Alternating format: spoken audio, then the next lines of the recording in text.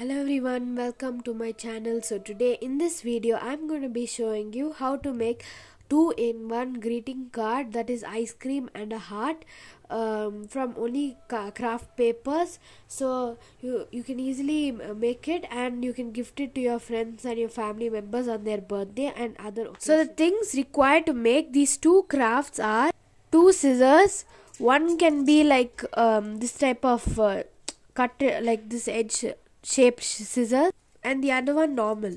Glue glitter pens for decorating craft papers and glitter paper scale and a box of brush pens. So let's start